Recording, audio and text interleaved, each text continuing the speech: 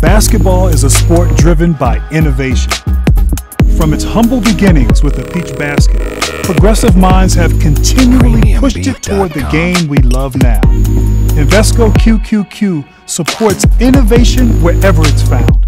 That's why it's proud to be the official ETF of the NCAA.